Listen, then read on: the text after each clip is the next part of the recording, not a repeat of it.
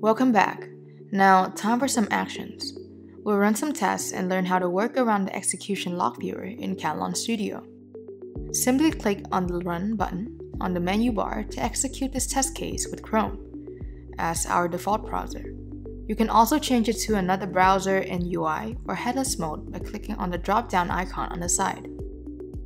Now, click to run the test. Alright, our test is up and running. In Studio, under the Log Viewer tab, every executed step is being displayed under a tree view on the left panel. You can click on each step and see the detailed log messages on the right panel.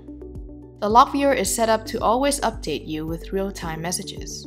It automatically scrolls down to show the latest executed steps by default. But if you want to stop this behavior, let's say to look at or verify a particular message, you can select Scroll Lock located at the top right corner here. Right beside is Tree View toggle, the default display option of the log viewer. It gives a structural way to view how the test case or test suite is organized. You can switch it to the tabular view by clicking on the toggle. In this view mode, you can choose to filter the executed steps with these little toggles on the side. You can list out particular steps, pass, failed, error, warning, or not run, according to your intention of viewing or troubleshooting. These filters are extremely useful when your tests have a lot of steps, which could give an eye pain when scanning through to troubleshoot or investigate problems. I personally prefer the tree view due to its structured view and the ability to collapse and expand to see the detailed messages. To save time, let's skip to the part where our test is finished. Oop. Alright, back to the tree view mode.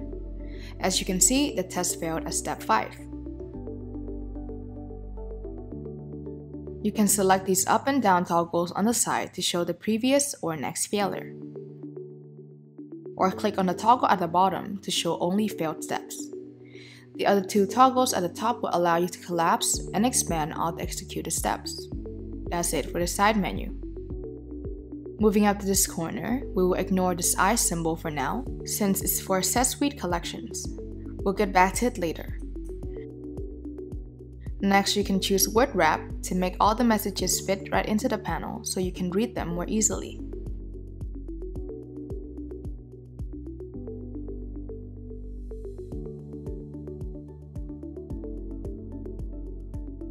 Last, you can minimize this whole section to have more working space to design your test cases. You can still see the log viewer or console by clicking on these options on the right hand side. And to have a better view for troubleshooting or debugging, you can maximize the log viewer or console to see all the activities and log messages more clearly. Speaking of console, you may wonder about the difference between this and the log viewer. While the log viewer shows only the report of the test execution itself, meanwhile the console shows more of a complete picture, which displays all the runtime activities while Katalon Studio runs the test. And in case you also wondered about the event log, it shows the activities of the plugins and integrations that are enabled for your test run and the runtime logs of Katalon Studio itself. Lastly, the self-healing part where all the broken object locators during test runs are listed out and can be quickly updated with just a few clicks. There's a separate course for this function. Make sure to check it out after finishing this course.